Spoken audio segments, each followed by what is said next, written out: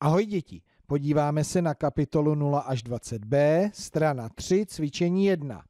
Přečteme si zadání.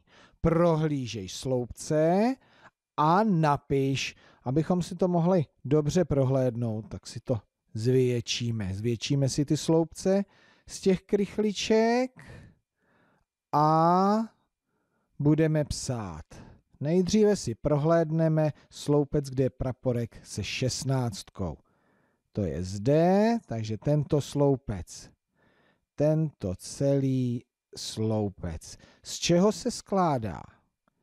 Z deseti modrých krychliček, ano, až sem jsou modré krychličky a to je 10 a ještě 1, 2, 3, 4, 5, 6 bílých krychliček. Takže 16 rovná se 10 modrých plus 6 bílých. 17. To je o jednu více než 16, takže to znamená, že 10 je stejně, ale přidáme ne 6, ale 7 bílých krychliček. 18 rovná se 10 modrých plus 8 bílých, správně.